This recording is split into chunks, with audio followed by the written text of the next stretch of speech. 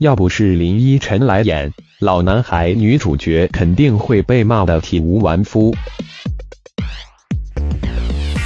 刘烨、林依晨、雷佳音都是有演技的人，按理来说，他们主演的电视剧应该是不错的。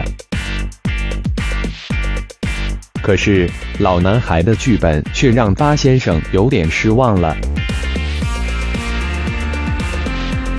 其实八先生一开始看的时候，还是觉得这部剧有诚意的。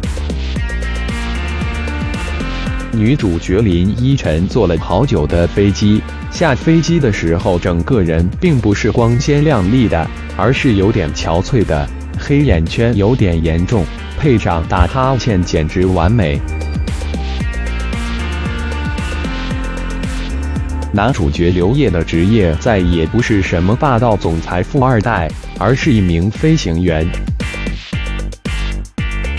刘烨的家也不像样板房那样宽敞明亮豪华，推开窗户也不是无敌海景江景，反而是地方有点小但装修别致。推开窗是居民楼外的广告牌的房子，十分接地气。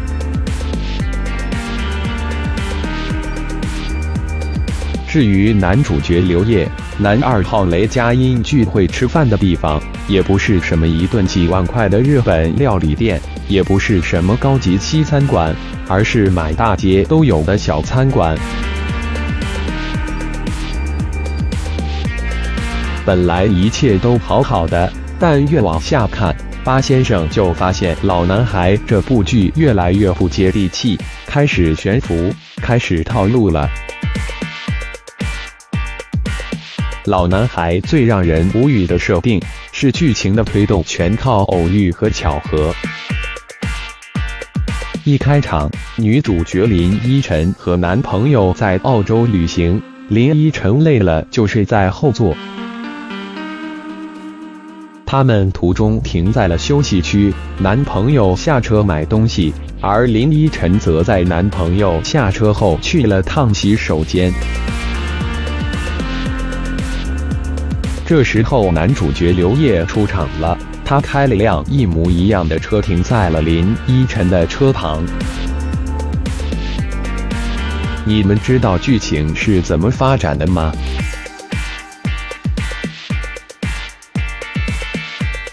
林依晨上完厕所回来，上了刘烨的车，而男朋友开了一个多小时的车，也没发现自己的女朋友不在车上。于是刘烨和林依晨就这样不打不相识，一起同游了一段路。神奇的是，后来他们也很有缘分，都在同一个地方体验潜水。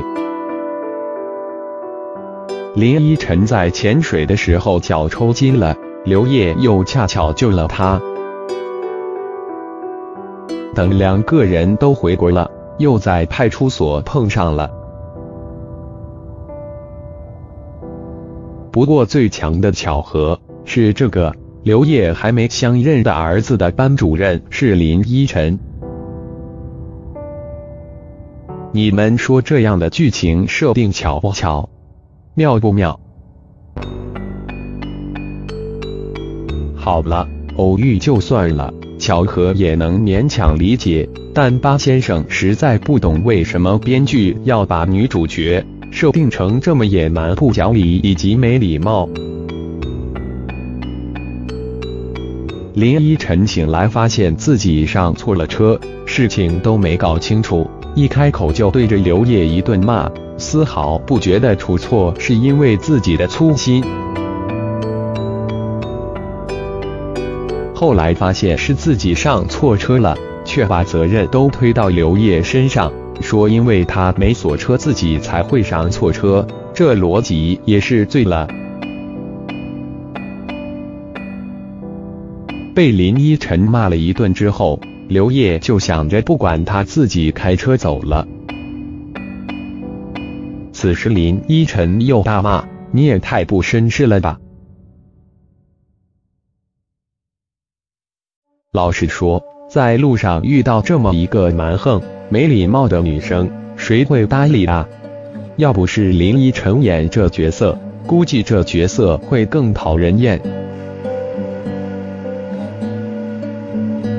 上文说到，刘烨和林依晨回国之后，在警察局偶遇了。两人一见面，林依晨又一顿责骂，怪刘烨带他的学生去喝酒。当刘烨解释自己没让他们喝酒，只是让他们喝了碳酸饮料之后，林依晨却对着学生说：“你看他骗你们了吧？这种人的本质就是坑蒙拐骗，以后离他们远一点。”这逻辑，巴先生也是不懂了，不让学生喝酒也成了坑蒙拐骗了。看来编剧为了让两人成为欢喜冤家，算是无事生非了。在澳洲的时候，刘烨好心借了自己的墨镜给林依晨戴，分别的时候忘了让他还。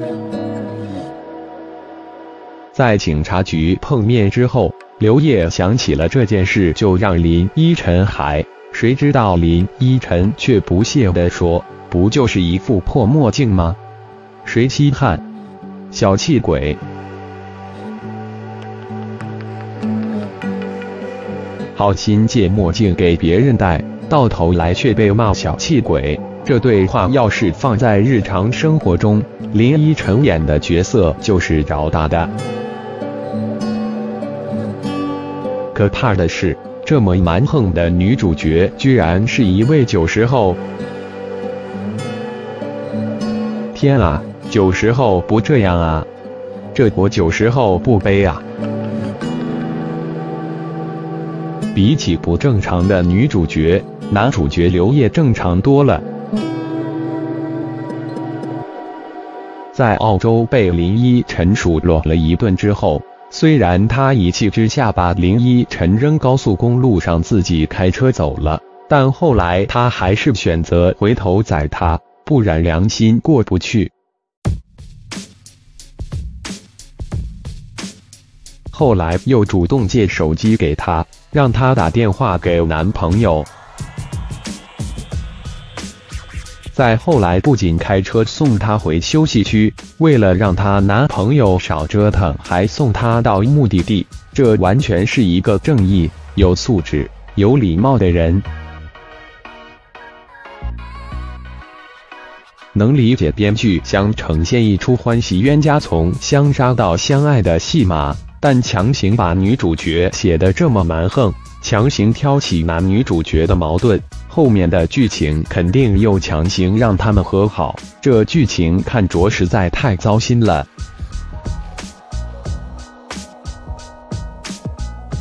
从什么时候开始，国产剧女主角从傻白甜变身成蛮横？不讲理，但又觉得自己很真实、很可爱的小女孩了。如果你喜欢我的文章，请回到文章顶部点击关注我的头条号，订阅更多有趣八卦。